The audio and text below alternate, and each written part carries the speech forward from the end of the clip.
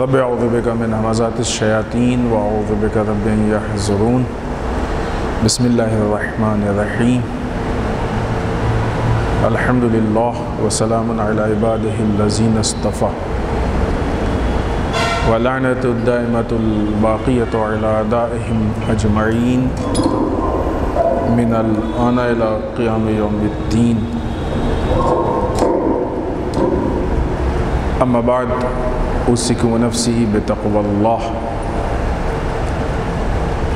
इस पहले ख़ुतबे में सबसे पहले अपने नफ्स और आप सबको तकवा इलाही की दावत देते हुए इसलिए कि तकवा इलाही यानी अल्लाह के सिस्टम पे इंसान का ईमान और अगर इंसान का ईमान मज़बूत है तो ख़ुद ब खुद अमल की मंजिल में पहुँच जाता है। और अगर इंसान जिन चीज़ों पे ईमान की बात करता है, अगर उस पर अमल नहीं कर रहा है तो ये इस बात की दलील है कि उसका ईमान मज़बूत नहीं। मसलन, अगर कोई ये ख़बर दे दे कि फ़लाँ जगह पॉजिटिव ख़बर पे भी मिसाल हो सकती है, नेगेटिव पे भी हो सकती है। किसी मकान में, किसी कमरे में आप हैं और किसी ने कह दिया कि जहाँ पे आप हैं, वहाँ पे सांप। तो अगर कहने वाले की बात पे यकीन है तो फ़ौर निकल जाएँगे या उसको ढूंढेंगे, मारेंगे। यानी फ़ौर अमल की मंजिल में आएँगे। किसी ने कह दिया कि फ़लाँ जगह हर आदमी को मसलन एक एक लाख रुपए मिलेगा। है? वो पंद्रह लाख की बात नहीं है, उससे हट के तो अगर ईमान मज़बूत है, उसकी बात पे भरोसा हो गया है तो आदमी वहाँ पहुँच जाएगा लेने के लिए। नहीं जाना इस बात की दलील है कि इंसान को भरोसा नहीं है।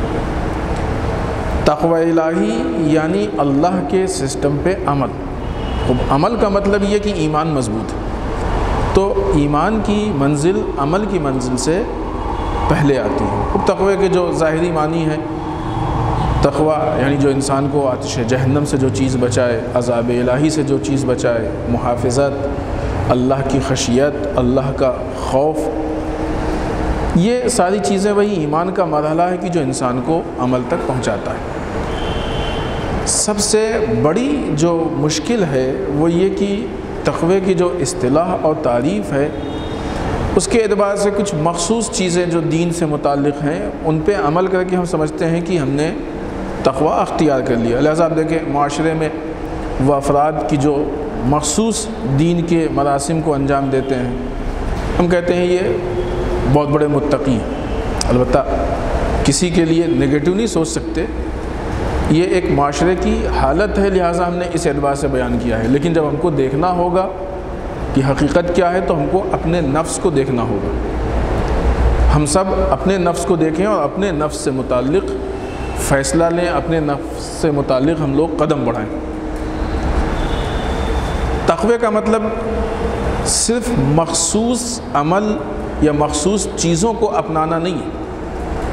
का मतलब कि कंप्लीट, मुकम्मल अल्लाह के सिस्टम को अपनाना है।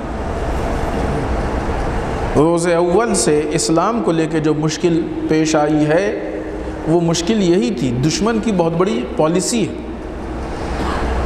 दुश्मन ये नहीं कहता कि आप बिल्कुल इस्लाम छोड़ दीजिए। दुश्मन ये चाहता है कि इस्लाम में वो चीज़ें कि जो दुश्मन के लिए नुकसानदेह हैं, उनको आप छोड़ दीजिए।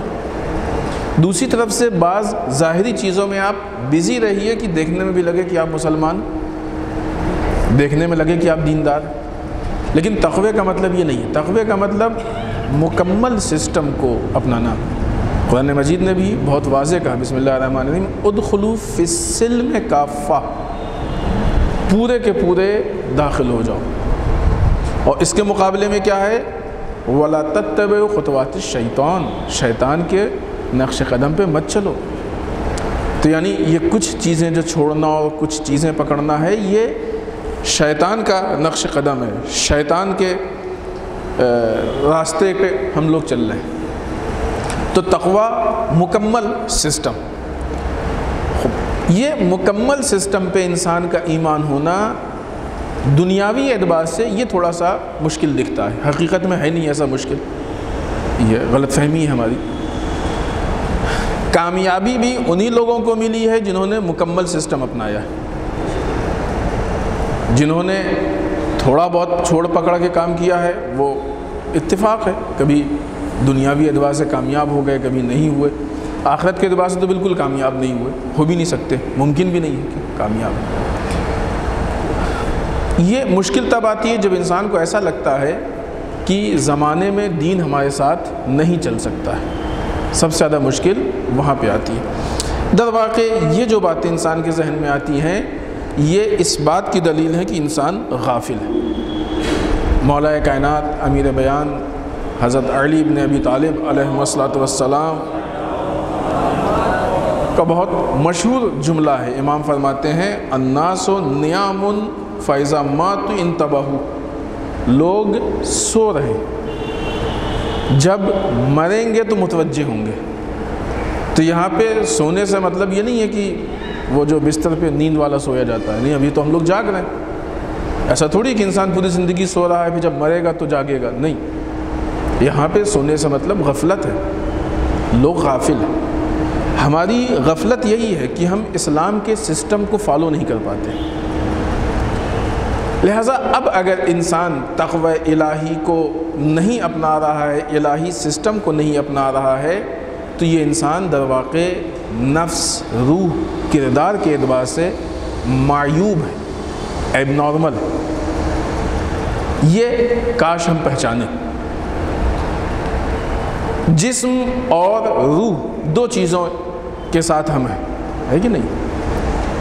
जिस्म हमारी रूह की तरबियत और परवरिश के लिए बेहतरीन मिसाल और रास्ता है। जिस्म के लिए कितनी कोशिश करते हैं हम लोग? कितनी मेहनत करते हैं? जिस्म ऐसा हो, जिस्म। लिहाजा जिस्म के मायूब होने को भी पसंद नहीं करते। कोई इंसान पसंद करेगा खुदा न खास्ता उसका एक हाथ कम हो जाए, एक पैर कम हो जाए, खुदा न खास्ता एक आँख में कोई प्रॉब्लम कोई पसंद करेगा? कोई नहीं पसंद करेगा। लेकिन इसी तरीके से जब इंसान रूह के हाथ पैर क्या है?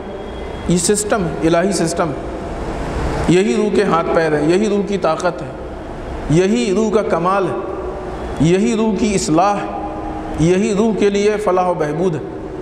अगर इंसान सही सिस्टम पे अमल कर रहा है तो उसकी रूह कंप्लीट है, मायूब नहीं, एबनॉर्मल नहीं।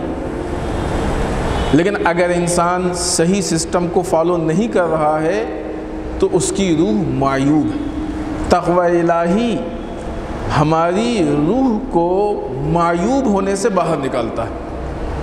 ख़तरात भी नहीं। जिस्म को तो हो सकता है कि इंसान चाहते हुए बचा ना सके। जिस्म को, हो सकता है कि इंसान कोशिश करे कि उसका जिसम मायूब ना हो, लेकिन होता है, हालात हैं हादसा हैं इतफ़ाक़ात हैं, कभी खुदा न खास्ता एक्सीडेंट हुआ, कहीं चोट लग गई, कुछ हुआ, और इंसान के जिस्म पे असर पड़ जाता है। तो जिस्म को मायूब होने से बचाना, ठीक है, इंसान कोशिश करता है, बचा भी ले जाता है, लेकिन जो बाज़ इत्तेफाक़ात हैं, ये इस बात की दलील है कि हर इंसान के हाथ में नहीं है, कहीं ना कहीं जाके इंसान के हाथ से चीज़ निकल जाती है और जिस मायूब हो जाता है। लेकिन रूह को मायूब होने से बचाना ये हमारे हाथ में है। हम अपनी रूह की हिफाजत कर सकते हैं। अल्लाह ने हमको ये कंट्रोल दिया है। अल्लाह ने हमको ये अख्तियार दिया है कि हम अपनी रूह को मायूब होने से बचाएँ। और उसके लिए जो रास्ता है, वो यही सिस्टम है। दर वाक़ बहुत वाज और बहुत ही सादे से जुमले में अगर इस बात को हम पेश करें, वो लोग जो मायूब सिस्टम को अपनाते हैं, उनकी रूह मायूब होती है। मायूब समझ रहे हैं?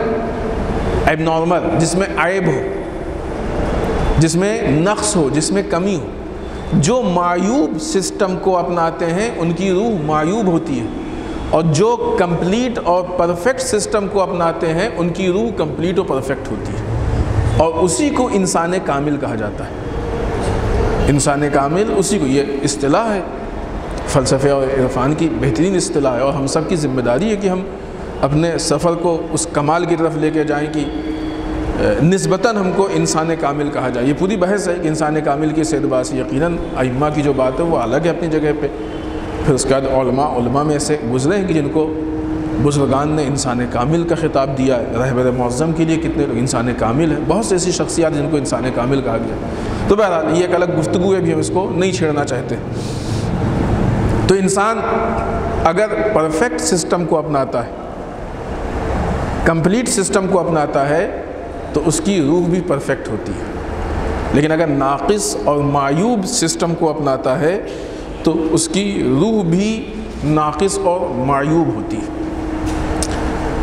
दर वाक़ ये सिस्टम इंसान अपनी फ़िक्र की बुनियाद पे अपनाता है। मायूब सिस्टम को क्यों अपनाता है?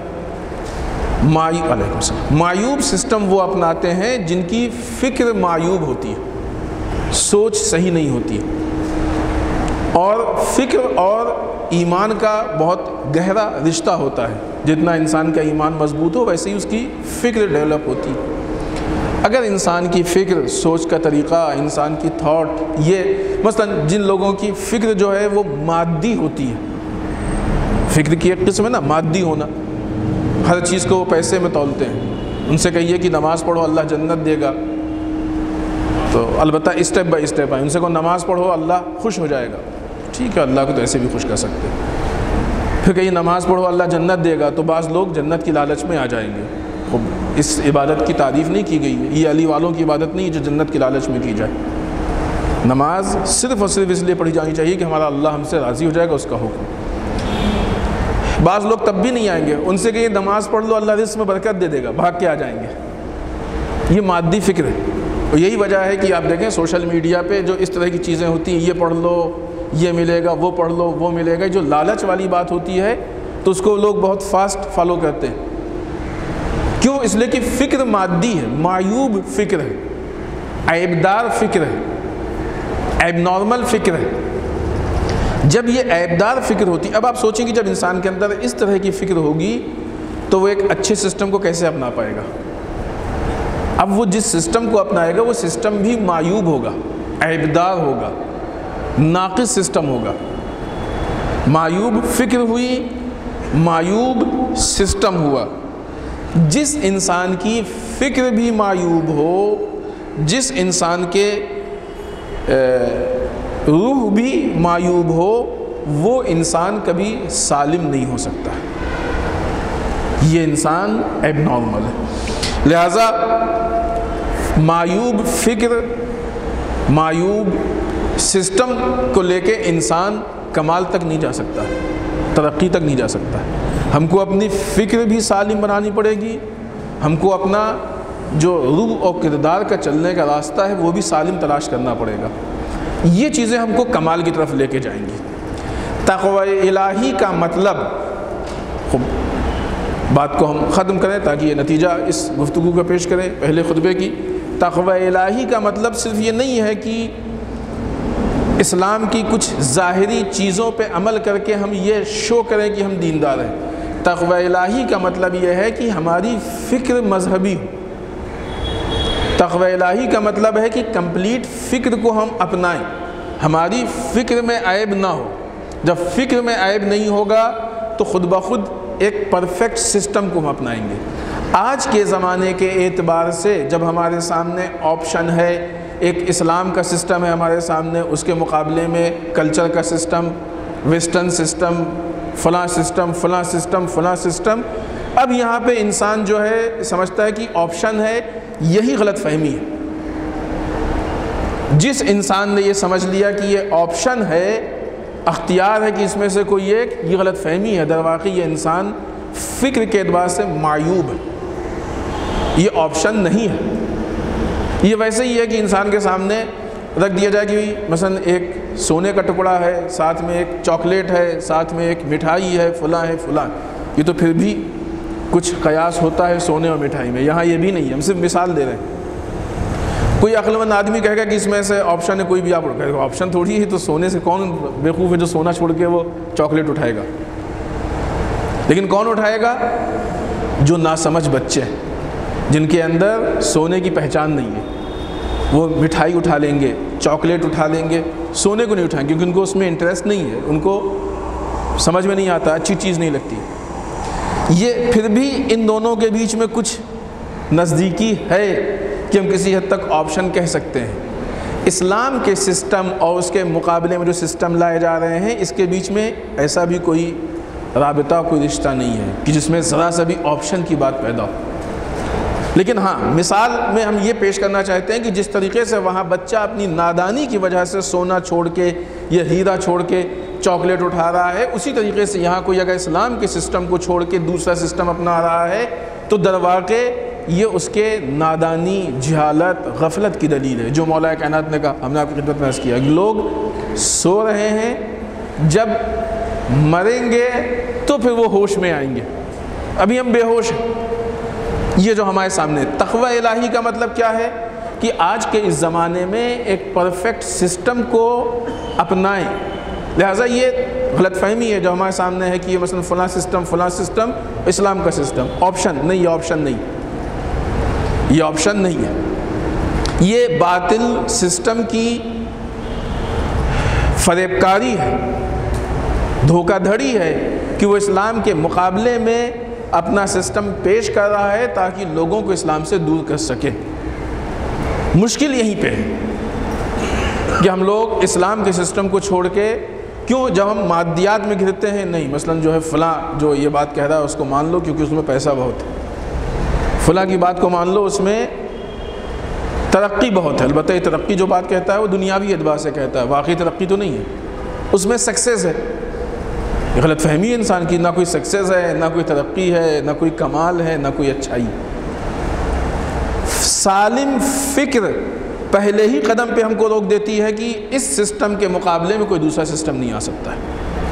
आज जो हमारी मुश्किल है वो यही है। एलिमिनाटी की तरफ़ से, इस्लाम दुश्मन ताकतों की तरफ़ से, इस्तेमाली ताकतों की तरफ़ से इस्तबारी ताकतों की तरफ़ से, इस्लाम के मुकाबले में इतने सारे सिस्टम या इतनी सारी शक्लों में मुख्तलिफ़ सिस्टम पेश किए जा रहे हैं कि मुसलमान को इस्लाम के सिस्टम से दूर करके किसी भी जो भी उसको समझ में आए, उस सिस्टम पे लगा दिया जाए।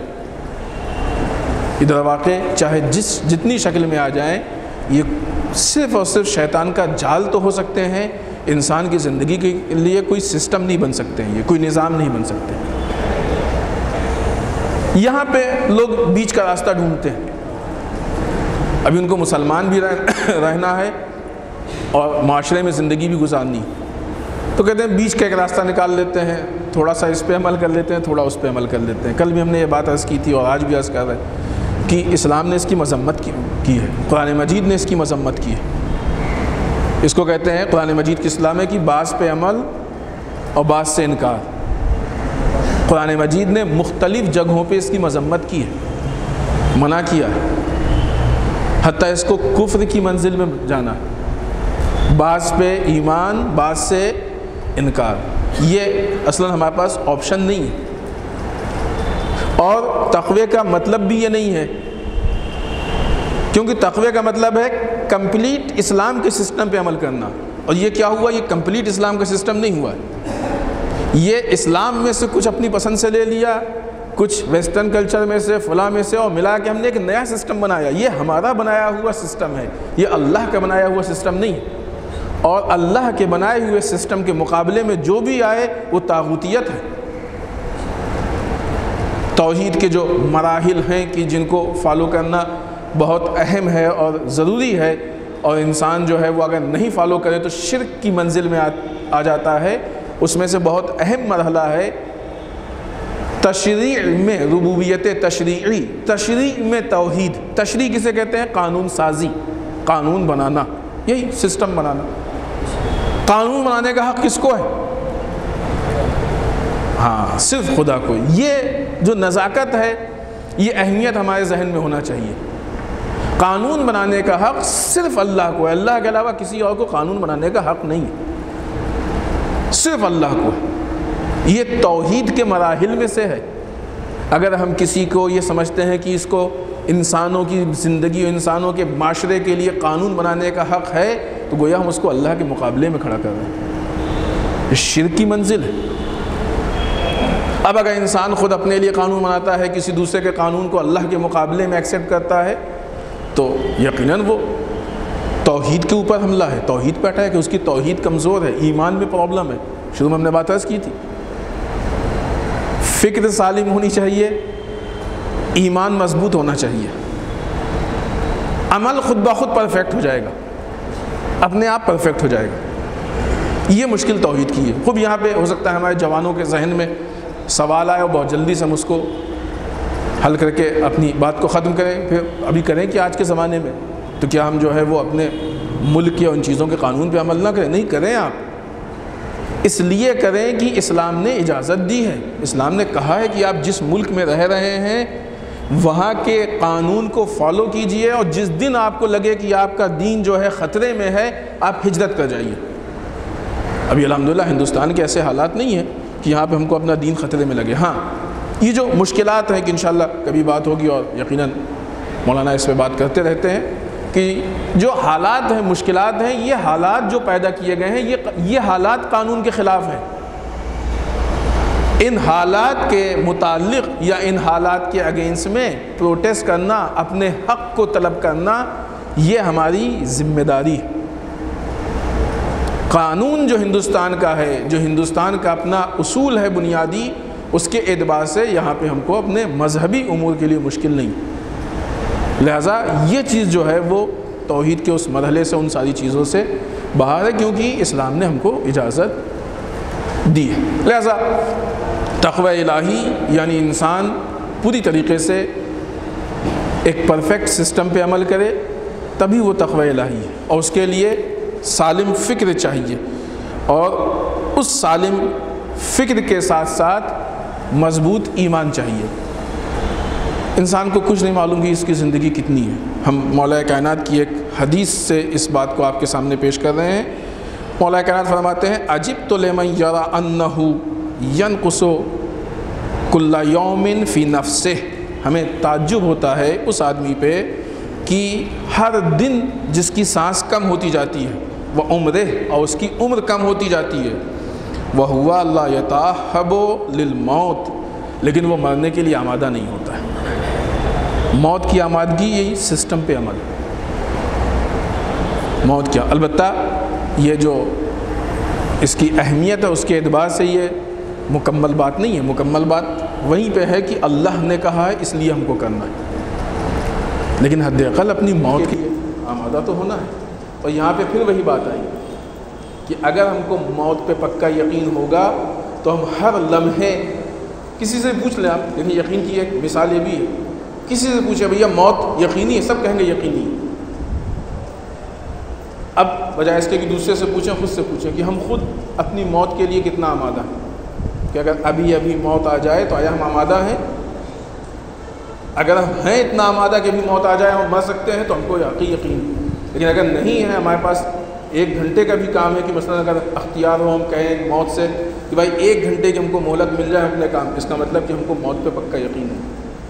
वो जो ईमान कंप्लीट होना चाहिए, उस ईमान में नक्स ये ईमान जब कंप्लीट होगा तो हम तखबे की मराहल में और उसकी मंजिल की तरफ़ आगे बढ़ेंगे। बसमीम इन्ना नकल कौसर फ़सल रब का वनहर।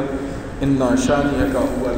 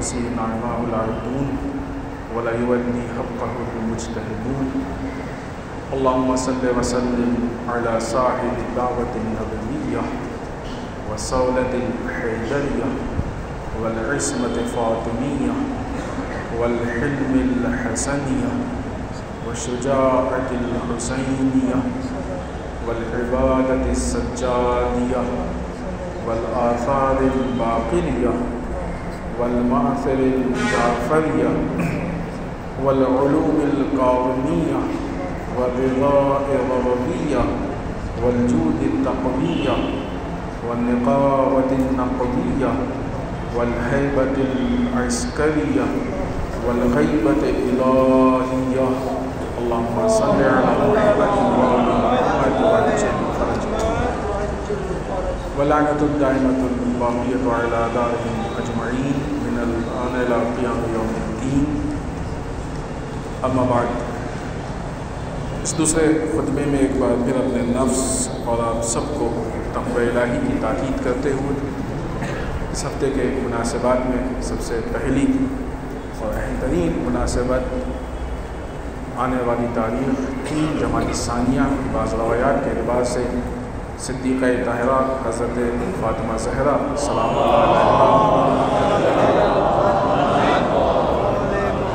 के शहादत की तारीख़ है। आलम इस्लाम का पहला और अहम तरीन ऐसा हादसा है कि जो इस्लाम और इस्लाम के सिस्टम के तहफ़ के लिए रूनुमा हुआ। है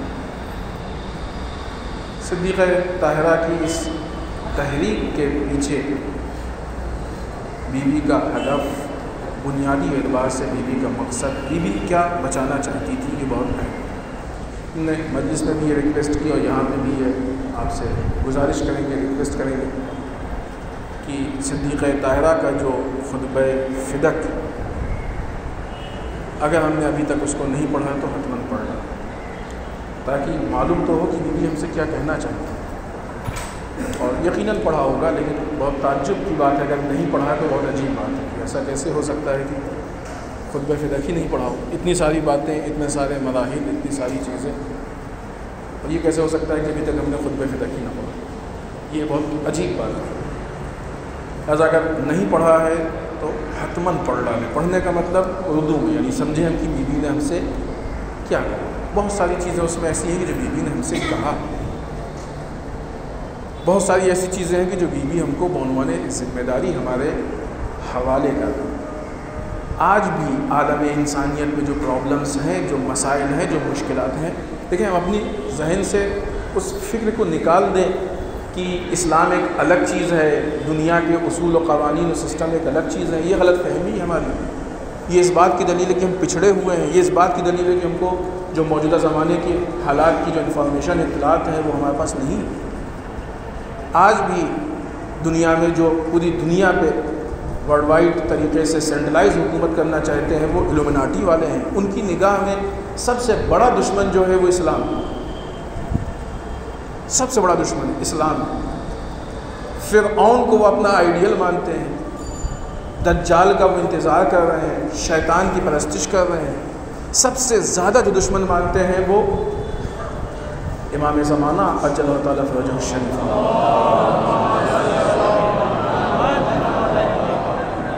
उनके निगाह में तो चूँकि वो बातिल पे हैं, इस्लाम एक बहुत बड़ी प्रॉब्लम है, उनकी निगाह में। यानी इसका मतलब कि उनकी निगाह में इस्लाम एक बहुत बड़ी चीज़ है, कि जिस पे जीतना उनके लिए उनको मुश्किल दिखाई दे रहा है। हम जो इस्लाम को फॉलो करते हैं, हमें ऐसा लगता है कि इस्लाम कोई बहुत छोटी चीज़ है, जो उनके मुकाबले नहीं आ सकती।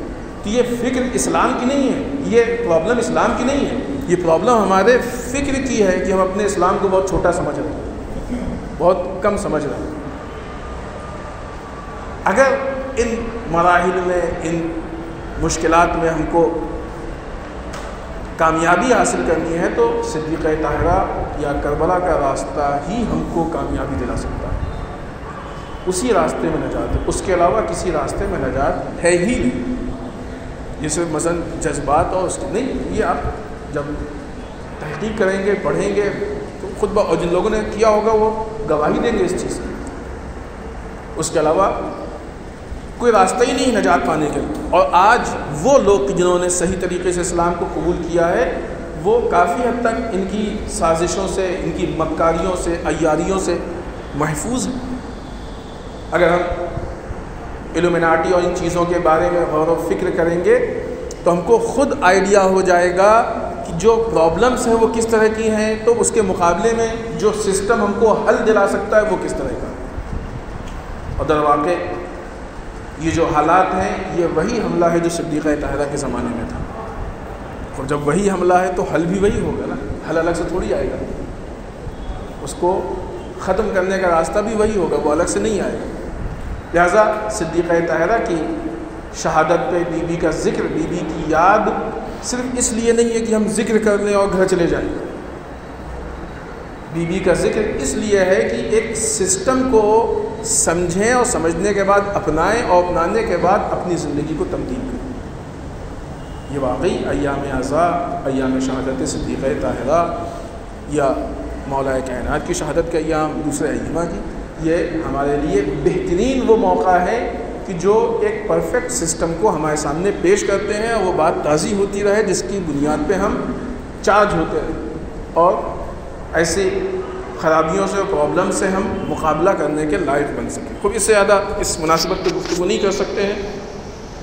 हालात हाजरा में दूसरी मुनासिबत, जो कोयटा के हालात पेश आए, जो बरदरान एहतजाज कर रहे थे, उन्होंने मराजे की आवाज़ पर लब्बैक कहा और उन जनाज़ों को दफन किया, जो यकीनन इस बात की दलील है कि आज के ज़माने में इतने बड़े पैमाने पे जब मरजैत के ख़िलाफ़ नेगेटिव प्रोपेगंडा और दुश्मन इतने बड़े पैमाने पे जो माल खर्च कर रहा है, वो कामयाब नहीं।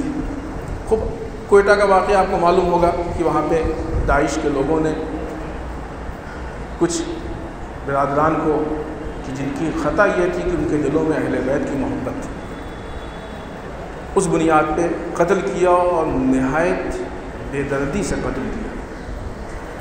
वो एक खातून का वो बयान आया था ना कि जिस चाकू से फल और सब्ज़ी नहीं कटती, उससे हमारे भाई के गले को काटा गया कितनी तकलीफ़ हुई होगी उसको।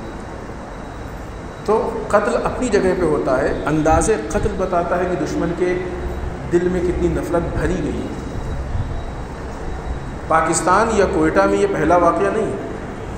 पिछले हफ़्ते भी अपने ये बात रस की थी कि पाकिस्तान मुल्क नहीं है, जंगल है। मैनेज नहीं कर पा रहा। और उसके जंगल होने की वजह यही है कि वो बहुत ज़्यादा अमेरिका को फॉलो करता है। उसके जंगल होने के पीछे रीज़न ही यही है। उसके पास अपना इस्लाम का सिस्टम है परफेक्ट सिस्टम है। और वो जाके एक बातिल सिस्टम को फॉलो करता है। उसके अपने अख्तियार में इतनी सारी चीज़ें नहीं होती। पाकिस्तान में टारगेट किलिंग शीयों का कत्लेआम चीज़ें बहुत आम है। कभी भी किसी मस्जिद में हमला कर दिया, बच्चों के स्कूल पे हमला कर दिया, सोचिए आप। ये सब सुनते रहते हैं कि नहीं सुनते रहते कोई नई चीज़ नहीं। अब ज़ाहिर सी बात, जहाँ पे इतने सारे ऐसे हादसा हों तो उसको कैसे मुल्क आदमी कहेगा? जंगल? और शायद उससे भी बदतर है। जंगल में भी कुछ उसूल होते हैं। शायद उससे भी बदतर है। वहाँ के बरदरान इन मामला को लेकर प्रोटेस्ट कर रहे थे। हुकूमत ने चाहा कि वो लोग उन जनाज़ों की तदफीन कर दें, लेकिन वो आमादा नहीं। लेकिन जब मराजे ने रिक्वेस्ट की, उन्होंने इस बात को कबूल कर लिया और जनाज़ों की तदफीन कर दी जैसा कि अभी हमने अर्ज़ किया है, ये पूरा एक चैप्टर है, पूरी एक गुफ्तु है। दुश्मन इससे यकीन मायूस हुआ है। हम लोगों को शायद नहीं एहसास हुआ, चूँकि ये बातें लीक नहीं होती कि इतने बड़े पैमाने पर जो मरजैत के ख़िलाफ़ प्रोपेगंडा होगा और इतना सारा पैसा खर्च हो रहा है, इसलिए कि मरजैत को कमज़ोर किया जाए। कोयटा के जवानों ने, जहाँ पे उनकी यहाँ इतनी मौतें हुई हैं और इतने शहादतें उन्होंने दी हैं, लेकिन वहाँ पे भी उन्होंने अपने होश हवास को और इस्लाम के दामन को नहीं छोड़ा। मराजे की बात को ऐसे हालात में जबकि हम गुस्से से भरे हुए थे और किसी एतबार से तैयार नहीं थे, तदफीन के लिए लेकिन मराजे की बात की रिस्पेक्ट और एहतराम करके उन्होंने बता दिया कि नहीं, ये वो जगह है कि जिसके बाद फिर अब इंसान की अपनी बात नहीं चलती। और यही वजह है कि दुश्मन मरजैत से इतना डरता है। और इसीलिए, चूँकि डरता है, इसलिए मुखालफत करता है। ये पूरी एक मरजैत की गुफ्तु है कि जो भी यहाँ पे हम नहीं करेंगे। लिहाजा ये जो वाक़ है इसकी मजम्मत, लेकिन जहाँ पे उन लोगों ने मरजैत की रिस्पेक्ट की है, इसकी हम तब्दील, तजलील करते हैं कि यकीन बेहतरीन काम दूसरी तरफ़ से जो अमेरिका के हालात हैं कि जिसको ऐसा शो किया जा रहा है कि हालात ख़त्म हो गए हैं, और ट्रंप के मुकाबले में इम्पीचमेंट में अक्सरियत से राय आ गई है। कोई शायद पहला हमारे ख्याल से ऐसा प्रेसिडेंट है कि उसके हुकूमत के ज़माने में दो मरतबा इम्पीचमेंट हुआ है। ये अजीब बात है। और ये शायद हमने बात अर्ज़ की थी उस दिन मजलिस में कि शहीद कासिम सुलेमानी का कत्ल भी वही इम्पीचमेंट के ही मुतालिक एक उसका कदम था। दर वाक़ ये वो मुल्क है कि जो पूरी दुनिया में डेमोक्रेसी के लिए अलमबरदारी का दावा करता है। अभी आप बताइए कि ख़ुद अमेरिका में कितनी डेमोक्रेसी रह गई? किसी भी हाल में वो बदबख्त कुर्सी छोड़ने को तैयार नहीं है और इस हद तक गिर गया। है कि नहीं?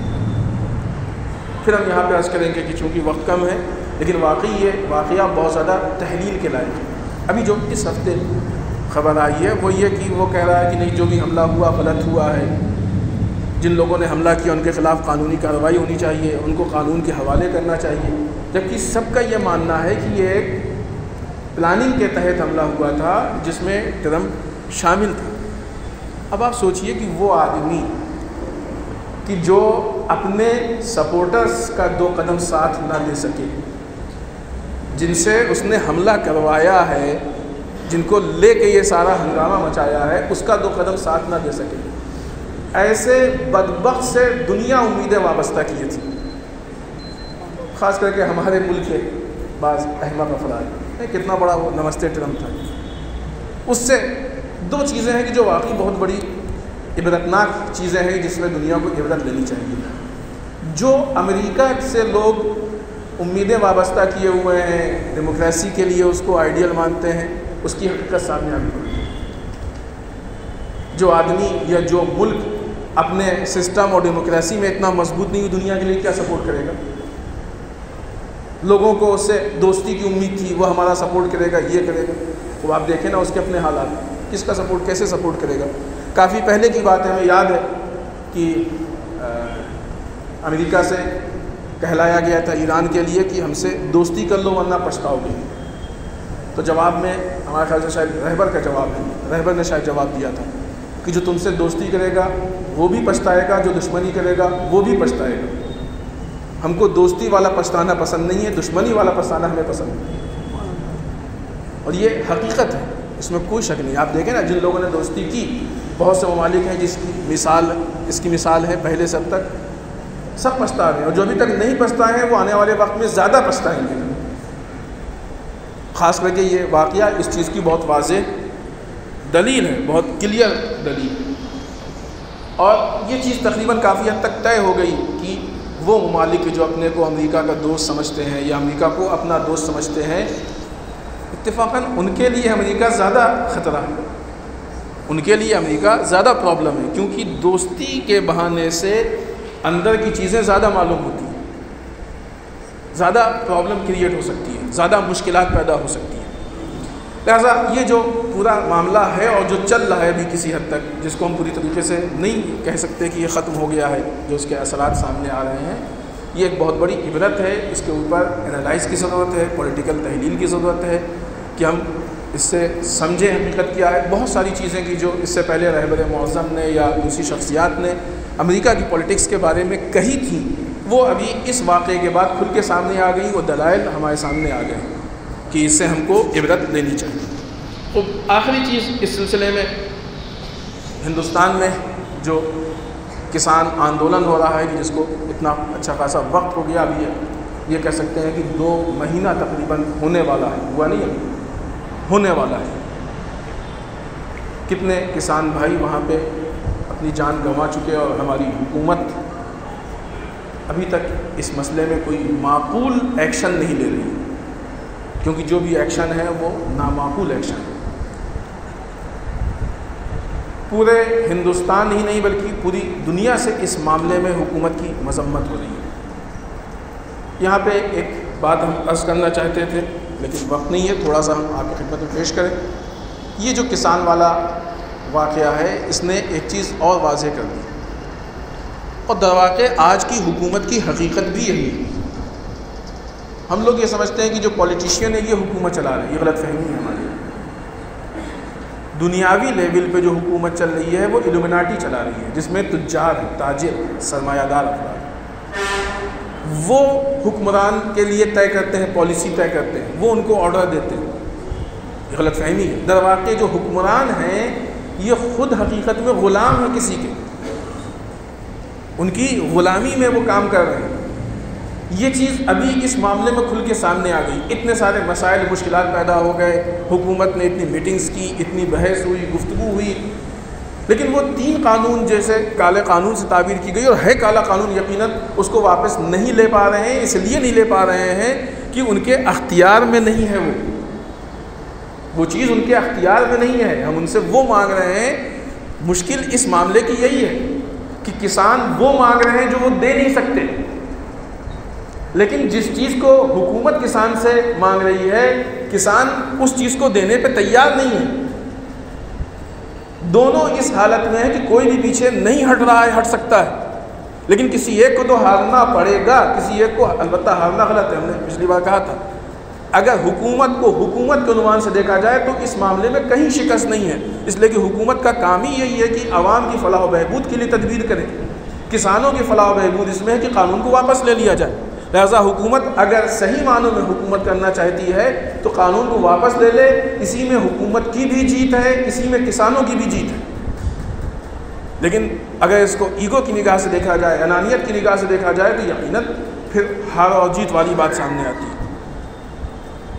यहाँ पे ये जो मामला सामने आया है कि जिस तरीके से बहुत अच्छा जुमला है कि हमने देखा भी था सोशल मीडिया पे कि हुकूमत को ये कहने जा रहा है कि ये बड़ी मुश्किल है, किसान इसको समझ नहीं पा रहे हैं, समझाने की कोशिश कर रहे हैं। नहीं प्रॉब्लम ये नहीं है कि किसान समझ नहीं पा रहे हुकूमत की प्रॉब्लम ये है कि किसान समझ कैसे गए? किसान इन मामला को, ख़तरात को समझ गए हैं।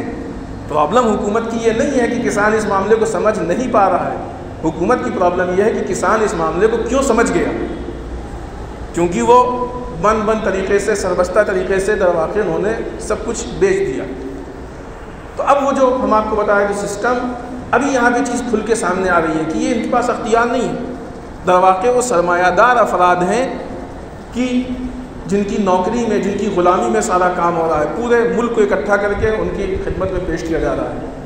कभी एयरपोर्ट उनकी खिदमत पेश किया जाता है, कभी रेलवे, कभी मसल फ़लाँ, कभी फ़लाँ, ये सब जाके उनके कदमों में रखा जा रहा है। उसी का एक सिलसिला, उसी की एक कड़ी, ये भी। तो दरवाक़ हुकूमत सरमायादारों की होती है। पॉलिटिकल लीडर उनके नौकर होते हैं कि जो आके यहाँ पे ज़ाहरी हुक्मरान होते हैं। ये मौजूदा पॉलिटिक्स की सही शक्ल है। और फिर हम यहाँ पे इस बात को अर्ज़ करेंगे। देखें, कभी भी जो इन दोनों चीज़ों को अलग मत समझें, ये हमारी फ़िक्री प्रॉब्लम है, अगर हम इसको अलग समझ रहे हैं। सिद्दीक़ ताहरा का जो क़याम है, वो इन जलालतों से निकालने के लिए परफेक्ट रास्ता है। बेहतरीन रास्ता है कि इंसान, क्योंकि सिद्दीक़ ताहरा का क़याम था ही इसीलिए कि हुकूमत की जो प्रॉब्लम्स हैं, उनको सॉल्व किया जाए, उनको हल किया जाए। आज सबसे बड़ी प्रॉब्लम जो है या जो क्रिएट की जा रही है, वो इन्हीं हुक्मरान के ज़रिए से की जा रही है। अगर हुक्मरान ही सही हो जाएगा तो प्रॉब्लम खुद ब खुद हल हो जाएँगी। और इसीलिए आलम इस्लाम में हुक्मरान को लेके इतनी जंगें और इतने मसाइल, इतनी चीज़ें सामने लिहाजा, किसान के इस मसले में हम सब की ज़िम्मेदारी है। और मजहबी भी ज़िम्मेदारी है, इंसानी ज़िम्मेदारी भी है, अखलाकी ज़िम्मेदारी भी है, और एक हिंदुस्तानी की हैसियत से हमारी ज़िम्मेदारी है।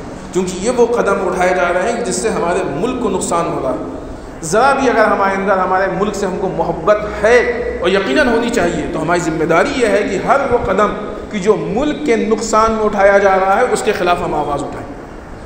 लिहाजा किसानों के इस प्रोटेस्ट में उनका सपोर्ट करना, अपने इलाके में प्रोटेस्ट करना, आवाज़ उठाना, उनकी आवाज़ों को मज़बूत करना, ये हमारी ज़िम्मेदारी है।